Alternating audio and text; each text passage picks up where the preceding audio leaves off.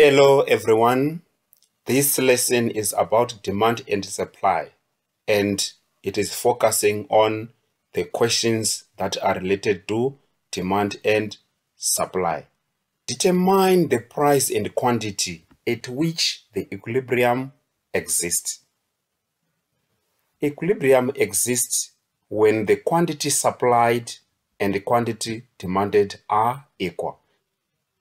So in this case, the quantity demanded and quantity supplied is equal here. Quantity demanded 70, quantity supplied 70. So the equilibrium price becomes 12 rand. So our answer to the question, equilibrium price is equal to 12 rand. Equilibrium quantity is equal to 70. The second question state the law of supply. Okay, the law of supply, we talked about this before in one of our videos that are on this channel.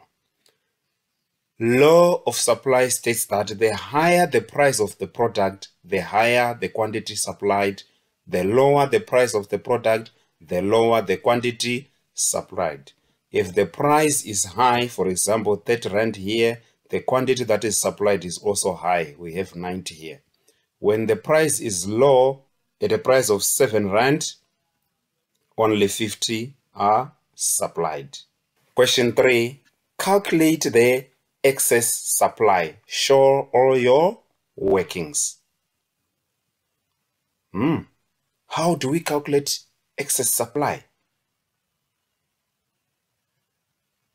Excess supply means that there is more that has been supplied than what is being demanded.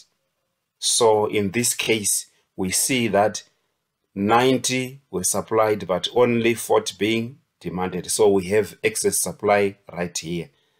Here, there is no excess supply. Here, there is no excess supply. Excess supply means more quantity supplied than uh, quantity demanded. Now, how do we calculate excess supply? Excess supply is equal to quantity supplied minus quantity demanded. Quantity supplied is equal to 90, quantity demanded is equal to 40. So 90 minus 40 is 50. So our excess supply is 50. Question 4. Explain how the cost of production can influence the quantity supplied. How does the cost of production affect the quantity supplied? When the cost of production rises, the supply of a good or a service decreases. Why does it decrease? What it means is that it is now more expensive for the producers to manufacture the good or a service. Now, the best thing they can do is to decrease the supply. When the cost of production declines, the supply of a good or a service will rise. Why does the supply of a good or a service rise if the cost of production declines? What it means is that it is now cheaper for the producers to manufacture more goods and services using the same resources. Question 5. Explain the relationship between price of the product and the quantity demanded. Here we'll need the table. The relationship between the price and the quantity demanded. So when the price is high, the quantity demanded is low. But when the price is low, the quantity demanded is high. So there is a negative or inverse relationship between the price of the product and the quantity demanded.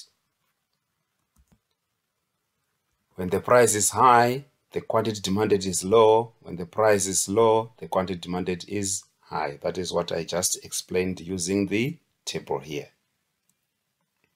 Question 6. Explain the relationship between the price of the product and the quantity supplied. We need a table here. When the price is high, the quantity supplied is high. When the price of the product is low, the quantity supplied is also low. So there is a positive relationship between the price of the product and the quantity supplied. So this is what I just explained using the table here. When the price is high, the quantity supplied is also high. When the price is low, the quantity supplied is also low. Thank you for watching. Don't forget to subscribe if you haven't. Feel free to comment or request a video of any topic of your choice and consider it done. Goodbye. See you in the next lesson and don't miss it.